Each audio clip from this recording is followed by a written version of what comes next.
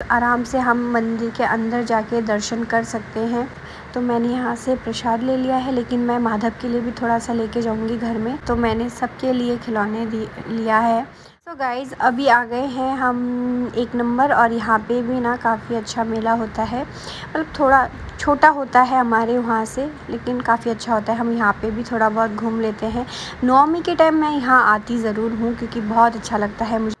और हमारे वहाँ पे तो मैं गई हूँ क्योंकि वहाँ पे ना अभी भीड़ है फ़िलहाल टाइम तो यहाँ पे ना पूजा ख़त्म हो गया है तो फिर हम लोग यहाँ पे आ गए हैं थोड़ा ठाकुर जी को देखने के लिए आई I mean mean, Mata Rani को देखने के लिए और यहाँ पे ना उतनी भीड़ होती नहीं है क्योंकि यहाँ पे छोटा सा गाँव है और ज़्यादा भीड़ भड़ाका भी नहीं होता है आराम से हम मंदिर के अंदर जाके दर्शन कर सकते हैं।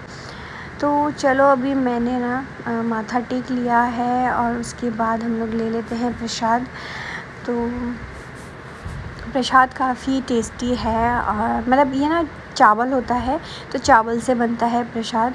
तो मैंने यहाँ से प्रसाद ले लिया है, लेकिन मैं माधव के लिए भी थोड़ा सा लेके जाऊँगी घर में। चलो तो मैं सोची थी कटोरा मिल जाए तो मैंने देखा है घुगनी वाले भैया बैठे थे, उनसे मैंने दो रुपये का दो कटोरा ख़रीदा।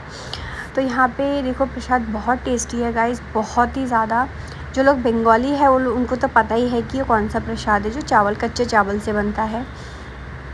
तो हमारे घर में कोई भी पूजा होता है ना तो ये वाला चाव, ये वाला प्रसाद बनता ज़रूर है। तो यहाँ से मैं भैया से ना दो कटोरा ले रही थी मैं तो मैंने पति से दो रुपये मांगा और भैया को दो रुपये दे दिया। तो भैया बोले थे, आप ऐसे ही ले जाओ, लेकिन मैंने बोला, नहीं, वो भी तो ख़रीद के लेके आए हैं और वो भी तो दुकानदारी ही करने बैठे हैं ना। तो इसीलिए मैंने भैया को ना दो रुपये दिया और प्रसाद यहाँ पे ले लिया है और मुझे ना भैया जी ने बहुत सारा प्रसाद दिया था। मैं तो एकदम मन भर के खाया आज प्रसाद और बहुत टेस्टी लगा, बहुत क्योंकि मिठाई होता है इसमें, फल, प्रसाद काफ़ी कुछ मिक्स होता है तो काफ़ी अच्छा लगता है। तो यहाँ से मैंने एक पन्नी भी ले लिया है और इसको पैक कर लेते हैं। अभी गाड़ी के अंदर बैठ जाते हैं। आई मीन नहीं नहीं नहीं गाड़ी में नहीं। अभी थोड़ा बहुत हम लोग ना घूमेंगे मेला तो एक ही मेला लगता है, एक ही गली होता है, लेकिन नौमी को घूम के बहुत मज़ा आता है ये एक नंबर में। और मैंने ले लिया है कोल्ड ड्रिंक क्योंकि गर्मी लग रही है और मुझे बहुत पसंद है कोल्ड ड्रिंक पीना। आई नो कि ख़राब है, लेकिन थोड़ा बहुत तो चलता ही है ना।